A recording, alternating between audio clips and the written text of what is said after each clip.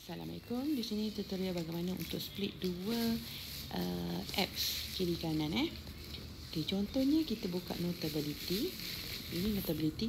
Pastikan uh, apa yang kita nak split sudah berada di sini eh. Okey, notability.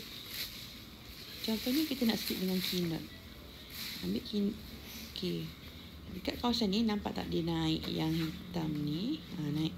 Naik hitam ni, kawasan ni, kawasan belah sini tengok nanti ya. Okey naik sikit tarik sikit je naik. Okey dah keluar ni. Kinot. Kinot ni pegang lama-lama tarik ke tepi. Okey sekarang dah jadi split. Okey itu sahaja. Terima kasih